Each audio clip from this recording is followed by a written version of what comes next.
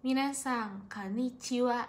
これから私は友達の趣味について発表したいと思います。私の友達の名前はシフィさんです。シフィさんの趣味は韓国のドラマを見ることです。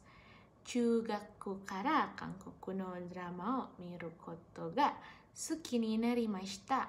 彼女はいろいろな韓国のドラマが好きです。例えば、ドリームハイキやイテウォンクラスやスタートアップです。シフィさんは1週間2回に韓国のドラマを見ます。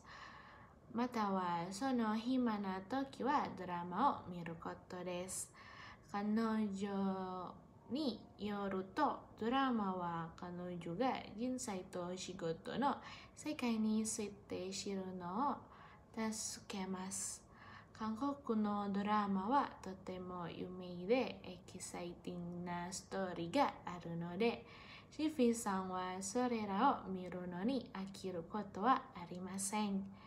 これでシフィさんの発表を終わります。